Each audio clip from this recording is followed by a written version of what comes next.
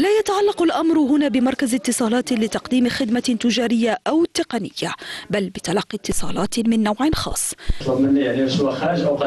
باتصال هاتفي مباشر أصبح بإمكان المغاربة التبليغ عن حالات الرشوة والفساد يتم بعدها تفعيل مسطرة قضائية خاصة بسرية تامة. المواطن آه، قد يتردد في الذهاب إلى المحكمة أو الذهاب إلى الشرطة ولكن عندما يجد آه، تحت تصرفه آه، خط يصله مباشرة برئاسة النيابة العامة فأكيد سيقبل على التبليغ بكل سهولة. وعند التأكد من أن المكالمة تتعلق فعلا بجريمة من جرائم الفساد ولا سيما الرشوه تحيلها على القاضي المكلف الذي ينسق مع النيابة العامة في سرية تامة بطبيعة الحال وبتنسيق مع المبلغ لوضع مخطط بالتنسيق مع الشرطة القضائية لضبط الجاني في حال التلبس من حقك كمواطن تطلب أي خدمة عمومية وتحصل عليها بشكل قانوني. لكن حذاري تخضع لأي ابتزاز. تتصدر قضايا الفساد المالي والإداري معظم البلاغات الواردة على الهيئة الوطنية لمكافحة الفساد حيث وصلت في 2017 إلى أزيد من عشرة آلاف حالة بزيادة فاقت 30% عن سنة 2016 إطلاق الخط المباشر يدخل في خانة أولويات السياسة الجنائية الرامية إلى مكافحة الظاهرة.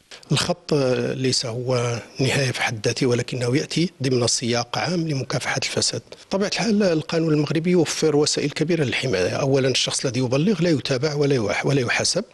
أيضا أن الأموال التي قد تطلب منه وإذا سلمها في إطار إلقاء القبض على الشخص ترجع له فورا. وبالتالي هو يمكن أن يتمتع بحماية إذا اضطر الأمر للحماية. القانون المغربي يوفر آليات كبيرة كثيرة للحماية.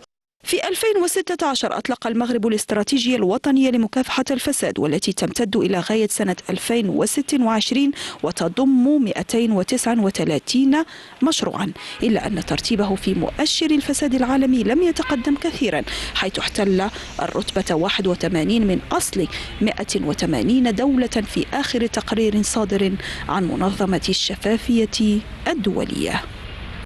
مبادرة جديدة تضاف إلى جملة المبادرات التي أطلقتها رئاسة النيابة العامة في ظرف سنة تاريخ خروجها من جلباب وزارة العدل في انتظار أن يتفاعل المواطنون مع هذا المعطى الجديد على أرض الواقع. فدور مرابط قناة الغد الرباط.